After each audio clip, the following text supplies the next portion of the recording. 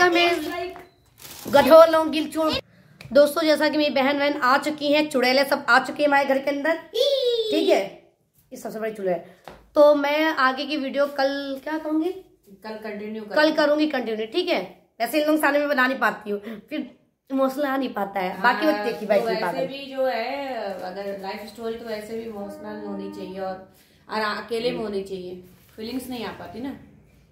नहीं फीलिंग्स आती है। फिर लोग हमको देखेंगे रोते तो मुझे अच्छा लगता है इसलिए नहीं बनाते। ठीक है? अब रो, अब रोना नहीं हंसने की बारी आई है। पता नहीं भगवान हंसने की बारी ला रहे हैं कि रोने की ला रहे हैं कुछ नहीं पता। आगे चल के देखते हैं ठीक है दोस्तों? तो मिलते हैं नेक्स्ट वीडियो में कल। Bye bye